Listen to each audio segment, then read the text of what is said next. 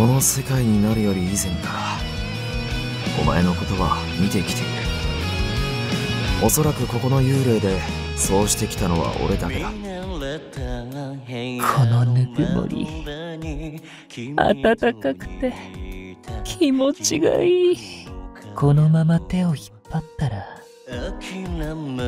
こちらに連れてこられるのかな？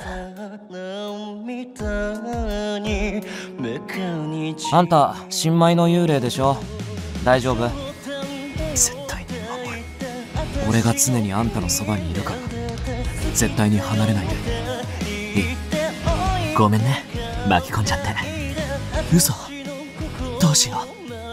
君に一目惚れしちゃったのかもごめん。がっかりさせて。でももう大丈夫だよ。だって。これからはスノーレでお前と会えるんだし。強いて言うならば好きな人がタイプ。というところでしょうか。ですから残念ながらあなたのことは好みのタイプではないのです。今はま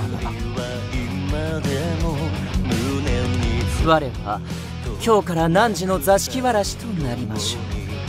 必ずやその悲しみを晴らし主様の気を幸福の色にしてみせようぞ。